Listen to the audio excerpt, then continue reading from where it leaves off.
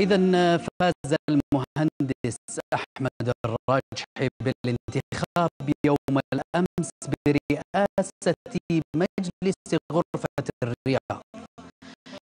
كما انتخب الأستاذ حمد بن علي الشويعر والمهندس منصور بن عبد الله الشثري نائبين للرئيس.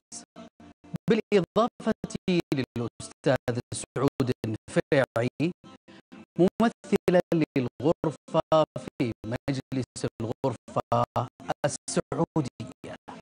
وعبر المهندس الراجحي عن شكره العميق لزملائه الأعضاء لثقتهم باختياره رئيسا للمجلس معربا عن أمله في أن يتمكن المجلس مواصلة قيادة غرفة الرياض للنهوض بقطاع الأعمال بالعاصمة وأيضا خدمة الاقتصاد الوطني وبرامج التنمية. وقد تداولت بالأمس الصحف والحسابات الإخبارية هذا الخبر. على مواقع التواصل الاجتماعي. مهنئين المهندس أحمد بهذا المنصب. ونحن في برنامج أخباركم يسعدنا أن نهنئ المهندس أحمد الراجحي بهذا المنصب. سائلين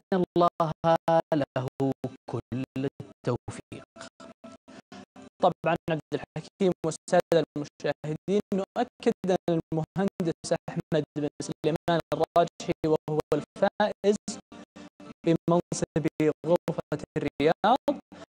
سيكون معنا بإذن الله تعالى خلال هذه الحلقة. إذا الاتصال الآن بالسعادة المهندس حياكم الله. يا هلا وسهلا حياك أولا نبارك لكم فوزكم برئاسة آه، آه، غرفة الرياض ونشرف بمداخلتكم مع أخباركم الليلة. الله يبارك فيك يطول عمرك يسلمك. طيب سعادة المهندس لو تحدثنا عن أهم الخطوات القادمة المستقبلية لكم كرئيس جديد للغرفة بالرياض وتحديدا حول توسيع نطاق خدمات الغرفة التجارية بالرياض. أولا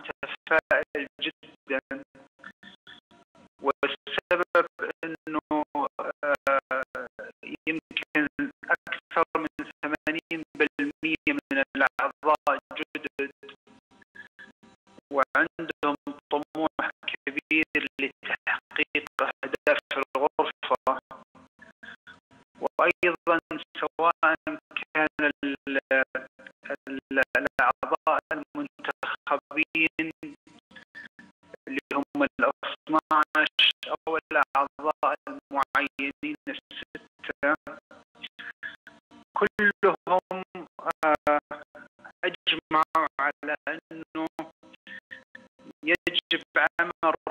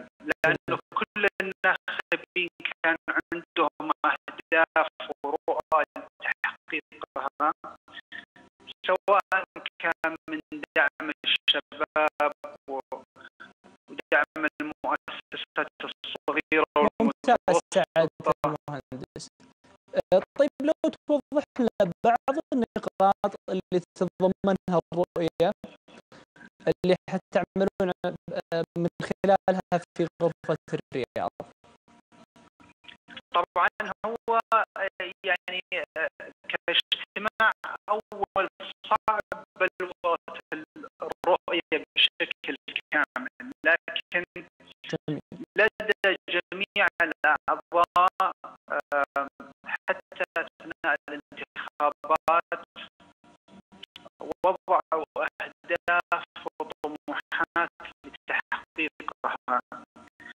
uh,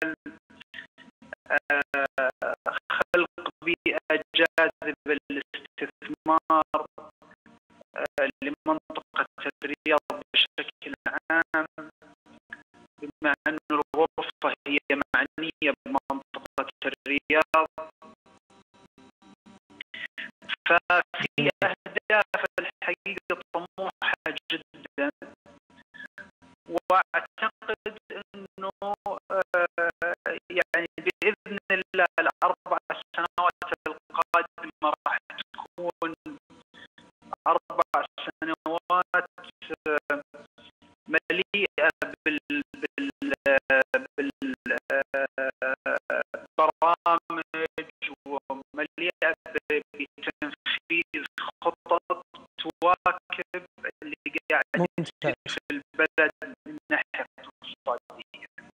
بإذن الله تعالى ونحن في أخباركم ونتمنى لكم بإذن الله تعالى كل التوفيق والسداد في إدارتكم لغرفة الرياض. إذا سعاده المهندس أحمد بن سليمان الراجحي شكرا جزيلا لك على ما خصيت به أخباركم. من تفاصيل.